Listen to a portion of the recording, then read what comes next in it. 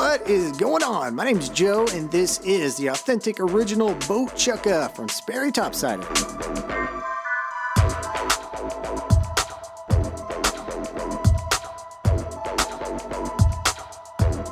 Now this chukka boot's going to be available in an all leather or a leather and wool combination like I have here. You get that nice contrast stitching around the front as well as rust proof eyelets and genuine leather laces.